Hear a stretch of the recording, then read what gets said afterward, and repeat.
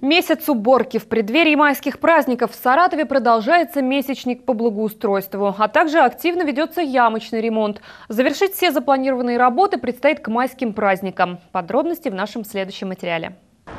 За кисти и краски взялись коммунальные службы города и обычные жители Саратова. В рамках традиционного месячника по благоустройству город приводит в порядок. Бордюры красят, мусор вывозят. Мероприятия по уборке идут уже третью неделю. Ежедневно рапортуют саратовские власти, в работах задействуют более 130 единиц спецтехники и почти 200 человек. На сегодняшний день у нас э, покрашена улица Шахурдина до путепровода, третья дачная. Также покрашен у нас путепровод третья дачная со всеми развязками.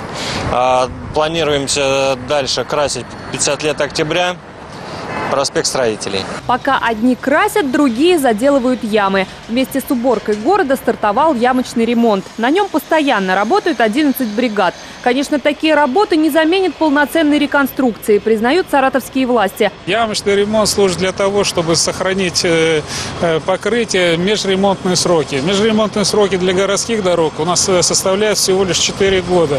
То есть каждые 4 года мы должны все дороги перекрывать новым слоем асфальтобетона. А вот идеал, которому хотят следовать саратовские власти. Открытие Московской после ремонта в свое время стало настоящим праздником для автолюбителей. Новая технология покрытия позволит сохранить улицу в отличном состоянии на несколько лет.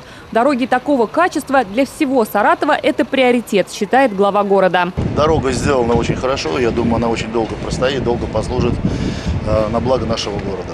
Поэтому вот такого качества, вот такого стандарта, такого формата, я считаю, должны быть в городе Саратове все дороги сделаны так, как сделано Московской. Ну а ямочный ремонт коммунальные службы обещают закончить уже к майским праздникам. Елена Губенкова, Евгений Шейченко, РЕН-ТВ, Саратов.